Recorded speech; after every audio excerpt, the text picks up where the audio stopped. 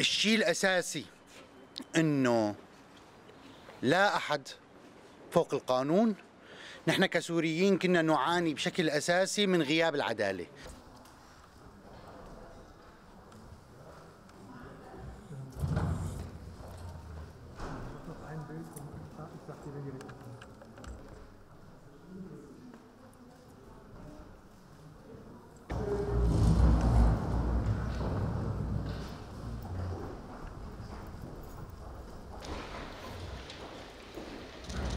Dies ist ein Signal an die Täter in Syrien und anderswo.